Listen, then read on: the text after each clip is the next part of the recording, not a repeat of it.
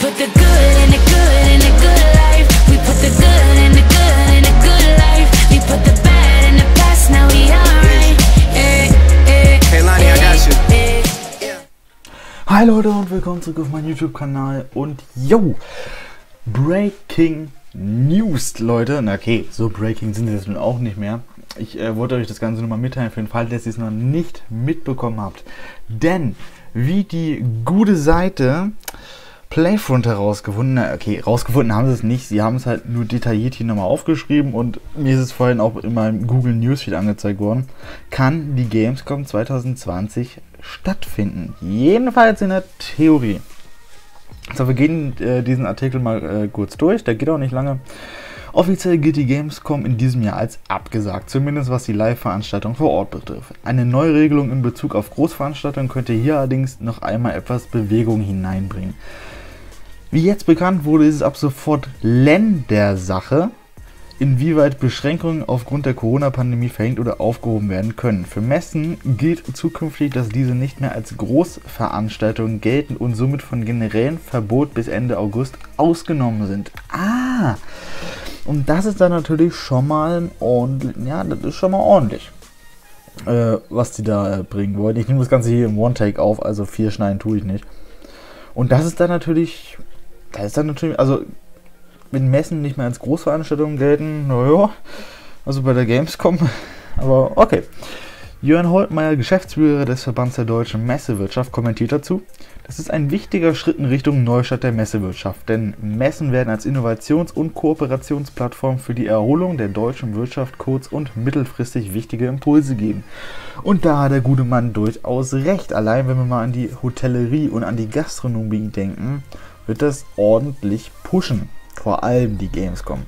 Das Ding ist halt, wie es mit den Hygiene- und mit den Abstandsregeln laufen soll. Aber dazu kommen wir bei dem Artikel gleich nochmal. Da wird dann äh, Köln dann auch noch voller werden, sollte es tatsächlich irgendwie so hinkommen, weil man kann weniger Platz nur anbieten. Durch eben die äh, Abstandsfrist von anderthalb bis zwei Metern.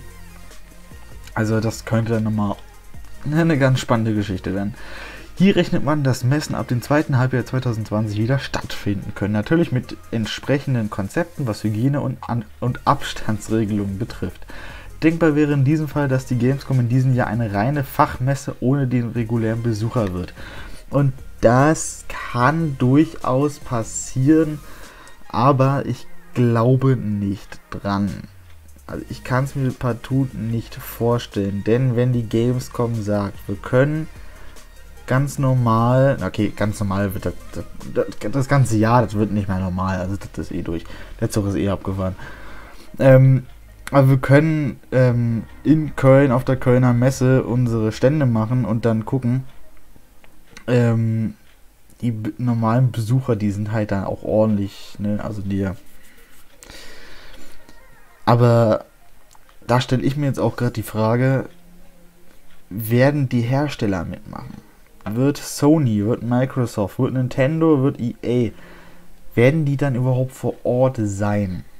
Weil die müssten dann ja mit der Kölner Messe zusammen ein Hygienekonzept ausarbeiten, dass man sich auf der Messe sicher fühlt. Ich habe keine Angst vor Corona und dem ganzen Zeug, aber es sind halt Regelungen und je nachdem, wie weit die Lockerungen bis dahin sind, könnte man dann durchaus gucken, was man da machen kann.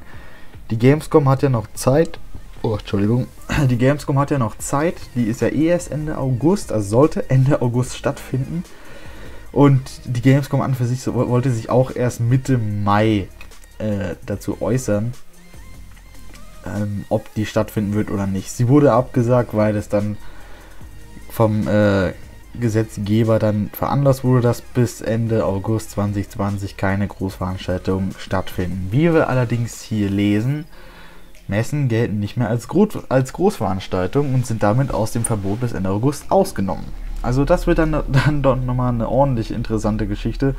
Aber ich kann mir durchaus vorstellen, dass die Kölner Messe da auf jeden Fall ein Konzept ausarbeiten wird, weil die Gamescom, die sie kostet, sie bringt so viel Geld ein den Veranstaltern und auch der Kölner Messe. Also ich kann es mir partout nicht vorstellen, dass die sagen, ne, wir lassen sie trotzdem nicht stattfinden. Also das kann ich mir partout nicht vorstellen. Ob die Gamescom ihre Entscheidung zur Absage des Events durch die neuen Umstände noch einmal revidiert, bleibt natürlich abzuwarten. Ursprünglich wollte man sich damit ohnehin bis Mitte Mai Zeit lassen.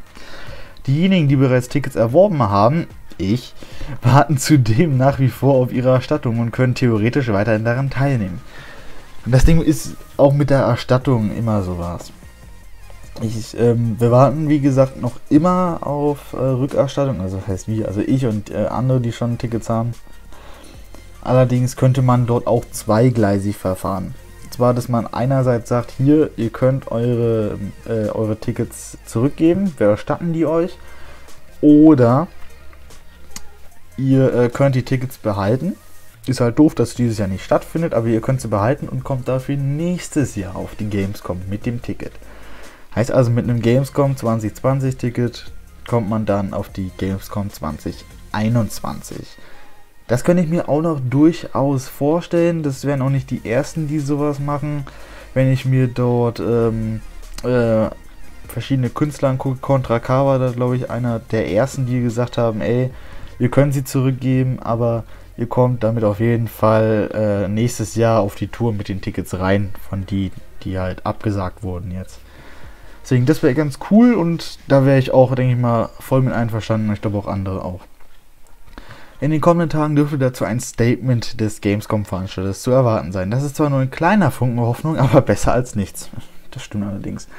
Für die Branche und mit der nahenden Einführung der Next-Gen-Konsolen wäre die Gamescom jedenfalls ein äußerst wichtiges Event in diesem Jahr. Und ja, das ist nun mal so. Es ist nun mal so. Sie ist relevant. Sie ist so relevant dieses Jahr eigentlich, die Gamescom. Denn ein Live-Event ist ja schön und gut, wenn man es digital erhalten möchte. Aber ich kann keine PS5 und keine Xbox Series X ähm, großartig beurteilen, wenn ich sie nicht testen konnte. Und ich, da habe ich auch das Gefühl, dass da auch die Vorbestellungen etwas äh, rückläufig sein werden. Einfach nur, weil man dieses Jahr keinerlei Möglichkeit hatte, die Konsolen anzutesten. E3, wenn dort Sony, okay, die waren ja eh nicht da, aber egal. Also bleiben wir bei Microsoft. Äh, E3 wohl abgesagt. So, heißt also, dort konnte man die Series X nicht testen, wenn man sie denn dort hätte testen können. Spätestens auf der Gamescom wird es gehen oder wäre es gegangen. So. Das wäre nämlich dann das nächste Ding. Die Gamescom dort hätte man dann wahrscheinlich oder kann man dann wahrscheinlich antesten, weil dann geht es ja eh schon so langsam in die Richtung, Wein äh, Richtung des Weihnachtsgeschäftes. Und dort äh, wäre das natürlich auch werberelevant gewesen für alle Hersteller, sei es Microsoft, sei es Nintendo, sei es Sony. Es ist einfach werberelevant. Das ist die i3 nicht mehr. Die Gamescom dafür aber umso mehr, weil es halt eine Consumer-Messe ist. Also da können wir auf jeden Fall nochmal gespannt sein. Wie gesagt, Digital-Event schön und gut, aber anhand eines Livestreams kann man nicht beurteilen, ob die Konsole jetzt was für mich ist oder nicht. Das ist halt das, das ist halt das Ding, wo ähm, man sich noch so ein bisschen Gedanken drüber machen kann. Außerdem ähm, geht es auch noch um das Thema Hygiene und äh, das, Absta äh, das Abstandskonzept von anderthalb bis zwei Metern. Das könnte auch noch sehr interessant werden. Ähm, aber ja, wir können auf jeden Fall gespannt sein. Ich halte euch da auf dem Laufenden, weil ich finde das jetzt auch sehr interessant. Ich habe gedacht so, wow, was ist das denn bitte für ein Artikel, der bei mir im Google Newsfeed angezeigt wird? Ähm, ja, also ich halte euch da auf dem Laufenden, wenn es dort was Neues gibt. Und dann würde ich einfach mal sagen, Leute, ich hoffe, das kleine Video hat euch gefallen. Viel habe ich nicht dran geschnitten. Dann sehen wir uns äh, am Dienstag. Da streame ich wieder auf Twitch, 15 Uhr äh, äh, twitch.tv slash 210 Mal gucken, was wir dann dort machen werden.